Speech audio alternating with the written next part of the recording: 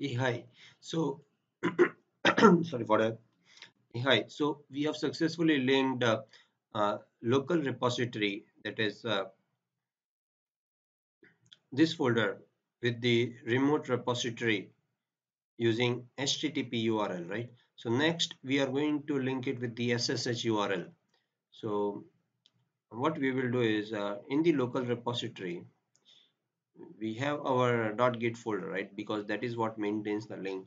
Um, we will delete it we'll be deleting that .git folder or else not deleting let's remove the origin uh, I think that would be a better idea um, so if I go to my uh, command prompt in the project folder in the git local git repository folder and I say git remote hyphen v that will give me the origin URL that what is my uh, repository linked to. So for fetch and push it is linked to http url let me remove this. Uh, so git uh, rm git remote rm.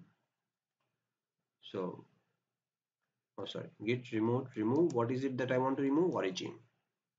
O r i o r i g i n okay so we have successfully removed the origin now. Now now if i run that old command git remote hyphen v um, we should uh, get uh, now kind of uh, it, it we, we do not have any origin as of now right? So now I can add a new origin. That is I can link my local repo with the remote repo using SSH URL that is new US new URL now. So I will go over here.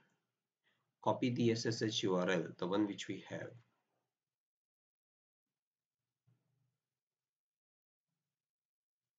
and go back to the command prompt and say git remote add origin origin here it is. So now if you take a look git remote hyphen v. So it will tell us that for fetch and push we have got git url that is ssh urls right? So now if i say um, if i make any changes to the project let us say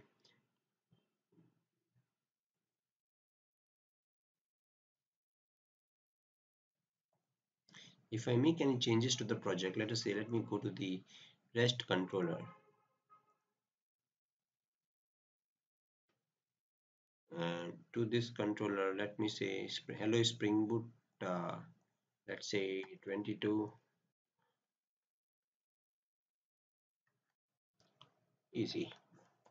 Right so here it is let me save it. So now once it is saved I can say uh, git uh, status uh, so it will tell us that we have modified this file right? So let us uh, come uh, stage the changes first. Uh, commit.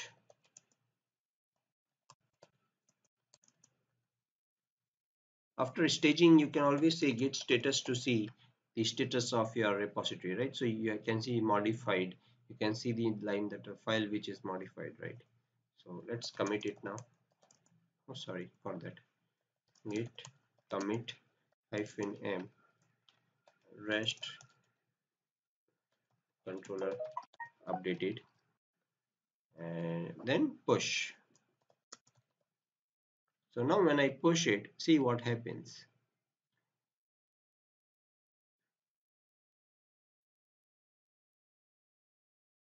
Okay uh, it, it it's saying that my push command is not correct. Okay no problems since I'm doing the push for the first time after setting the new origin uh, I have to say push git push hyphen u origin master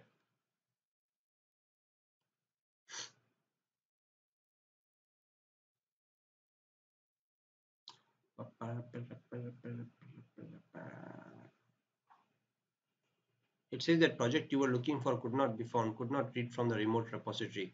Please, please make sure that you have the correct access rights and the repository exist. So we do not have the access rights. So how do I link? Uh, so I will have to configure my SSH uh, keys uh, as of now. So let us see how do we configure it, right? so we have to configure our SSH key right so to configure the SSH key, SSH key what you have to do is you have to go to your C users uh, profile folder whatever it is so in as in case uh, of this uh, let me open. You have to go to C users uh, the profile is admin as in case of cloud labs. So once you go there there is .ssh folder. If it is not there you should have to create it right .ssh folder. You have to go in there and you have to open the command prompt and say and you have to generate a key gen uh, let us say ssh you have to use this command to generate a key. Basically it will it will generate a public and private key. So by default the name of the file will be c users admin dot ssh id underscore rsa right? So uh, it will generate two files uh, so you, it wants you to enter the passphrase. Mm, keep it empty for now. So you can see that the the uh, your identification key has been saved in this file. Public key has been saved in this file the key fingerprint is this the key random image is this. So this should be okay. So you can see in here that you have got one public key uh, which uh, you are anyway is not required to edit.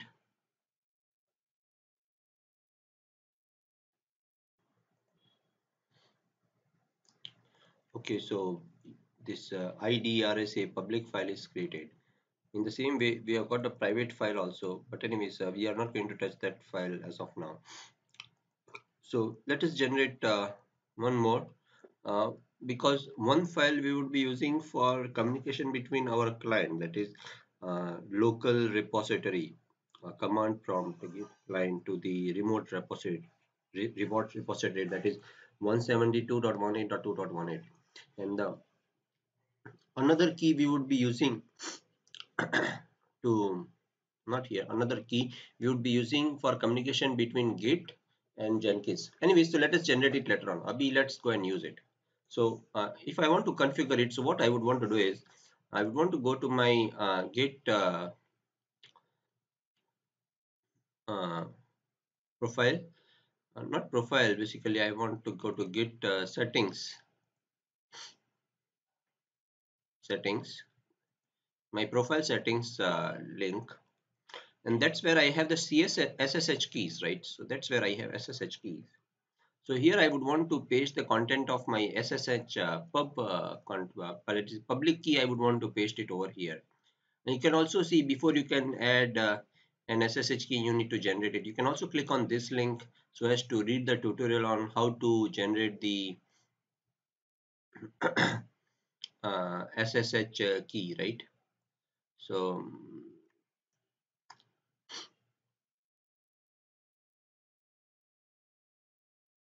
so they are generating it with the email id i have not generated it with the email id let us see if it works. If it doesn't work then we will regenerate the ssh key delete the current one and regenerate it with the email id right? So i will go to the settings and also open the folder. Copy the content of the public key.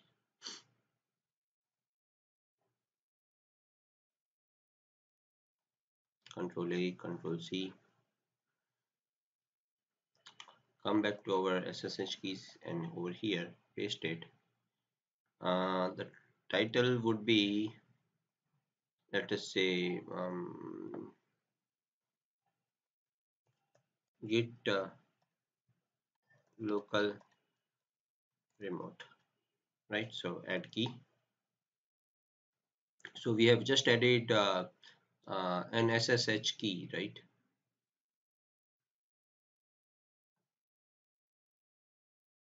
I suppose this will create a problem. Anyways, let us go and test it out. And um, this is the SSH key for what profile? So my profile has got the username of, um, can't I go and take a look at my username? my username is user creator and my user email is user creator at the iiht.com right so let me go to the command prompt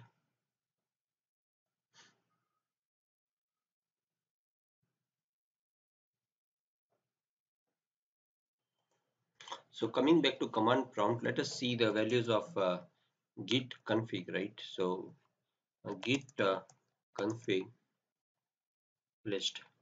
So you can see in when I say git config um, we have set uh, user.email to this ID and user.name to this. So we would need to change it as, as, as per the repository information right? So in repository user.name is uh, user creator I suppose that it was the same right? User creator.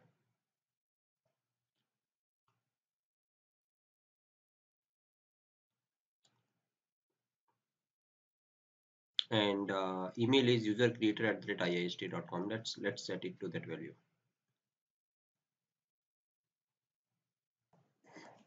So let us set the username git config hyphen hyphen global user was user dot name right? User dot name is what? User creator and uh, git config global user dot email is user creator at the rate iist.com i suppose it was it right? Uh, i just have to cross check again and again okay looks good. So now if you take a look at uh, git config list you will have uh, uh, user creator and user creator at the iist.com with this thing set um, I suppose we can push now. So git status sorry. Git status. Nothing to commit so um, uh, let us try to uh, make some changes and then commit right? So hold on. Git add uh, not I think changes are not required. I can commit directly. Git push. Hold on. Git push hyphen u origin. Because uh, we had already added initially right? Are you sure you want to continue? ECDSA key fingerprint is this? I say yes writing permanently successfully pushed. So from now onwards uh, with the correct SSH key set uh, we can push directly. Let us uh, write to let, let us commit uh, let us make one more changes. Let us say make it uh, uh, let's say 26 save. So it is 26 now. So if I kind of say git status you can see modified one file right? So git add dot and again say git status. You can say modified one file git commit hyphen m rest controller set to 26 here it goes. And so now if I say git push you will see that it pushes directly. That means our repository is linked uh, we have successfully linked our local to remote with the SSH URL of the repository right? So that was it. Uh, next we are going to